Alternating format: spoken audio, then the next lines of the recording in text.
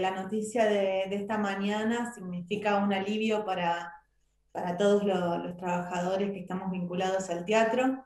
Em, recién hace un ratito se publicó en el boletín oficial el decreto y pudimos ver que, que varias de las cuestiones que veníamos solicitando se modifiquen eh, en el protocolo, están modificadas, por lo tanto, bueno, nos permite como mirar para adelante con un poquito más de tranquilidad. Contanos un poquito cuáles son esas modificaciones que ustedes eh, propusieron y ahora se contemplan. Eh, la más importante era la cuestión de las burbujas de espectadores, digamos que los protocolos pudieran eh, incluir la burbuja de espectadores.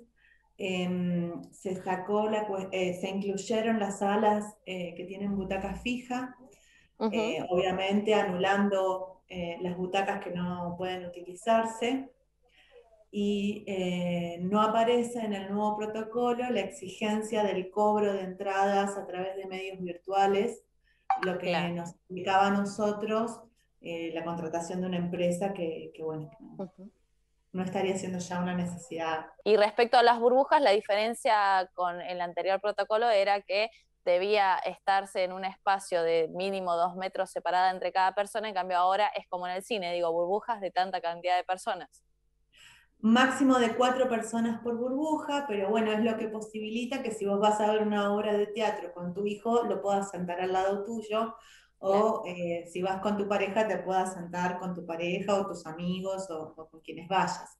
Esto comienza a regir a partir de mañana, ya saben si durante el fin de semana va a haber obras de teatro, algún tipo de presentación artística o todavía no. El protocolo provincial dejó abierto el control a, las municipalidades, por lo menos en el caso de Santa Rosa, porque entendemos que en otras localidades eh, se maneja de otra manera.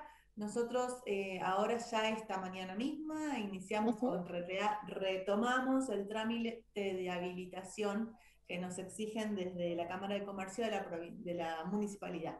Claro. Es decir, que nosotros tenemos una habilitación comercial, que es la normal, la de cualquier, en cualquier momento siempre se hace, pero a partir del contexto COVID hay una habilitación especial expectativas tienen por parte de, los espectadores, espectadoras? ¿Creen que, se van a empezar a acercar?